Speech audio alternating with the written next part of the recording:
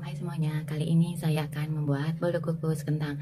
Yuk kita lihat bahan-bahan yang perlu dipersiapkan. Di sini ada 150 gram kentang yang sudah saya haluskan. Ini boleh dikukus atau direbus ya. Ada 4 sendok makan mentega cair, 10 sendok makan tepung terigu, 4 sendok makan gula pasir, 3 buah butir telur, 1 bungkus vanili, dan setengah sendok makan SP. Kalau kalian mau menggunakan susu bubuk boleh ya, satu saset aja. Terus selanjutnya saya akan mixer telur, SP beserta gula dan vanila bubuk. Kita mixer hingga bubuknya berminyak ya.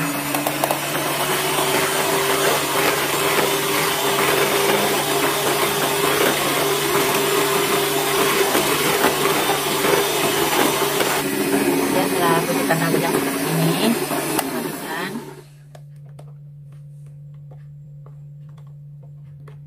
Lalu kita masukkan kentang.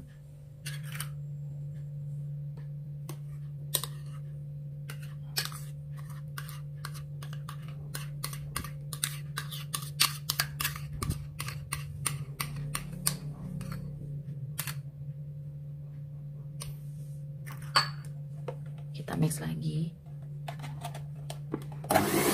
Sedikit rendah aja ya. Jangan campur rata.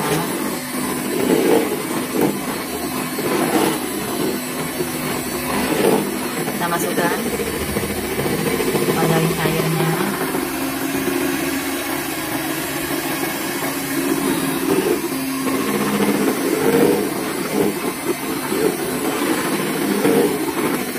masukkan tepung terigunya sedikit demi sedikit. Pastikan ini tercampur rata semua ya.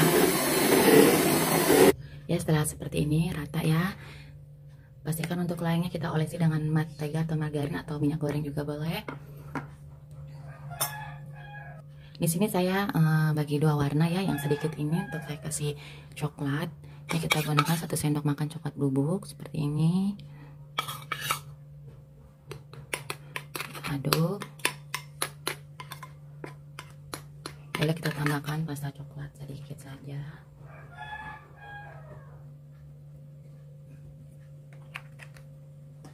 kita aduk hingga tercampur rata ya. Setelah campur rata seperti ini ini saya akan tuangkan campur ke adonan putihnya. seperti ini ya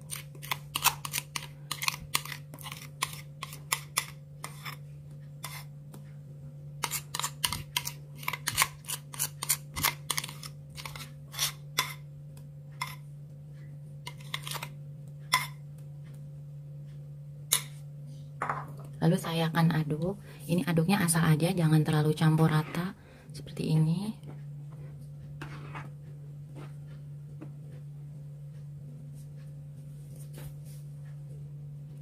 Ya setelah kira-kira seperti ini ya tercampur jangan terlalu campur-campur banget.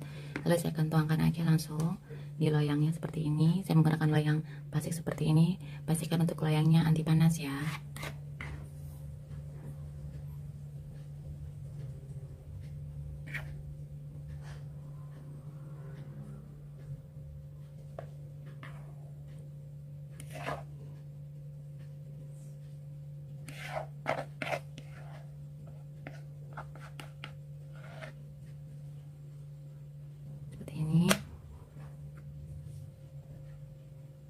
ya setelah seperti ini kita hentak-hentakan agar jamur udaranya keluar. Lalu saatnya kita kukus ya. Setelah kukusannya mendidih saya akan masukkan seperti ini. Jangan lupa untuk tutup dan nanti kita alasi dengan serbet ya. Gunakan api kecil cenderung sedang. Kita kukus kurang lebih selama 35 menit sampai 40 menit. Kita tunggu ya setelah 35 menit kita matikan. Kita lihat ya. Ya seperti ini mekar. Tadi saya agak kebesaran apinya ya jadi dia agak bergelombang seperti ini tapi tidak masalah ya yang penting rasanya tetap empuk. Sekarang saya akan keluarkan dari loyangnya ya. Dan ini ya hasilnya lumayan besar lalu saya akan potong. Ini pokoknya empuk banget ya